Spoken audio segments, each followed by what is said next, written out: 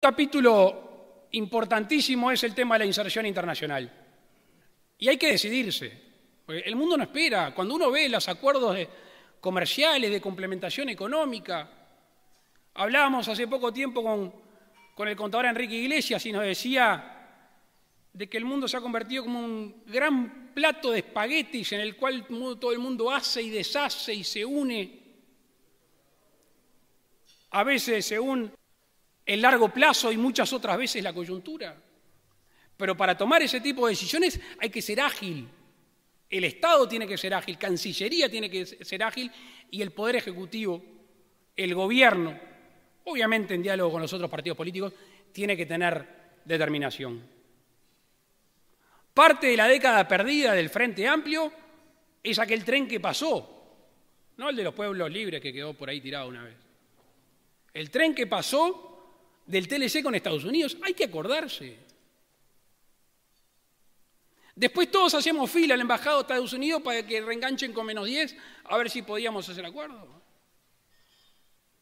Yo fui a hablar con la embajadora de Estados Unidos a raíz de un conflicto con los reclusos de Guantánamo. Fui por lana y salí esquilado.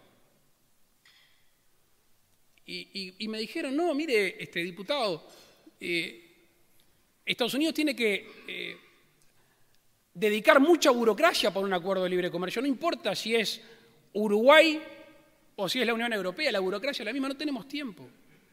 El tren lamentablemente había pasado. Hay algunas señales en el, en el, en el barrio que son alentadoras, que quieren mover al Mercosur. Hay una crisis en sentido estricto, un momento de ebullición. Bueno, aprovechémoslo. Generemos una oportunidad de desflexibilizarlo hasta algunos romperlo.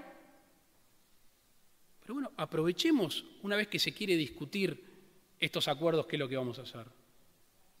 A mí me sorprende, y yo se lo dije al canciller formalmente hace poco tiempo, que el doctor Vázquez, presidente de la República, no se haya sentado a conversar con Cristina Fernández, presidenta argentina. A mí me, importa poquito y nada que se quieran o no se quieran. No es un tema de relaciones personales, es un tema de quienes representan.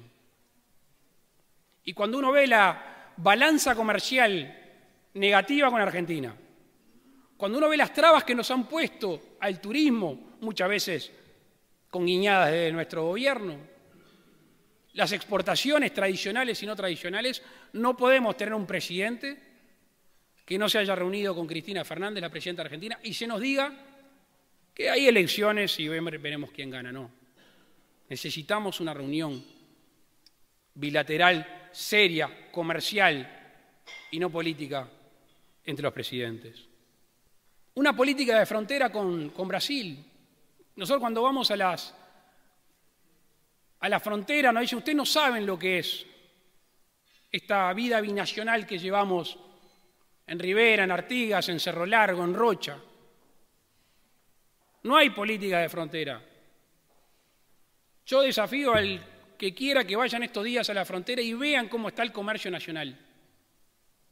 Ya no los free shop, que la amenaza brasileña y la instalación de los free shop, de que los brasileños puedan gastar menos, de que los nacionales puedan comprar en su free shop, ya no es amenaza. Estoy hablando del de un almacén, el de una tienda pequeña, que no tiene capacidad financiera para aguantar una devaluación y no acompañar el ritmo del real. Ese se funde, ese cierra, ese no levanta.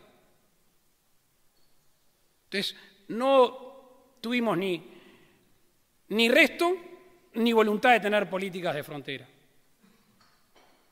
Yo sé que pedirle al Brasil que diga agua va cuando toma determinadas medidas en la crisis política que tiene, una presidenta que hace poco que asumió por segunda vez y ya tiene registros de impopularidad enormes.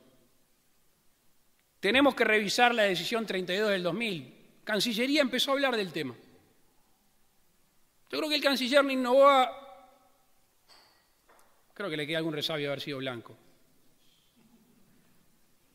porque entiende un poco más a nuestro, nuestra nación geopolíticamente. Pero no alcanza con querer, hay que hacer. Sé de alguna delegación que ha ido a Paraguay extraoficialmente a hablar de la flexibilización del bloque. Tenemos que avanzar con la Unión Europea. En virtud de la campaña nos reunimos con todos los embajadores de la Unión Europea y nos preguntaban, ¿y, ¿y qué va a hacer el Mercosur? Yo no fui muy optimista, pero traté de que no se notara tanto.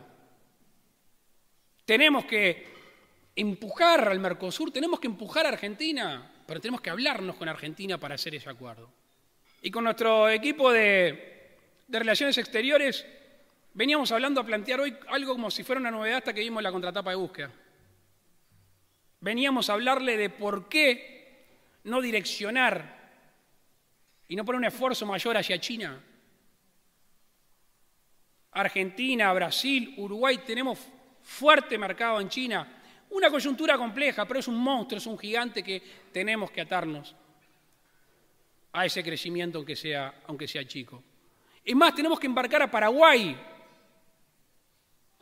que tiene una sociedad muy cercana con, con Taiwán, pero que todos sabemos que China y Taiwán ya no es la misma división de antes. Lo conversamos el otro día en una cena con el embajador, dicho sea de paso que usted nos puede asesorar mejor al respecto.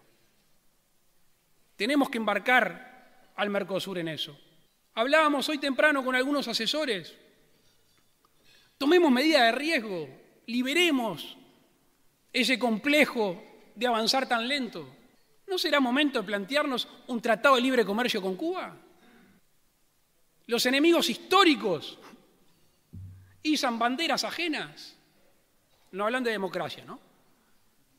Pero izan banderas ajenas, de enemigos. Uruguay tiene un acuerdo de complementación económica, el 62, con Cuba, el Mercosur, perdón, con Cuba. ¿No será momento de esa oportunidad? Me imagino que no vamos a tener complicaciones ideológicas. Avancemos.